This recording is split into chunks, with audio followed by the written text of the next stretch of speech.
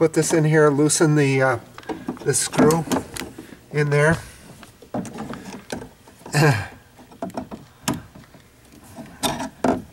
You don't have to uh, undo it all the way, you just need to be able to loosen it. And then you can reach down in here and pull back on the drive shaft, and you pull all the way back until you come to the um, connector fitting here with an E-clip. And you just take the two ears of the E-clip and they pull right up off. This is the E-clip here. And then slide the connector forward and off the end of the, the drive shaft.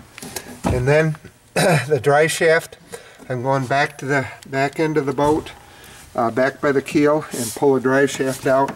And I'm not worried about this bushing and the clam dropping down in the boat because they're very easy to retrieve in there, unlike some of the other parts, other parts of the boat.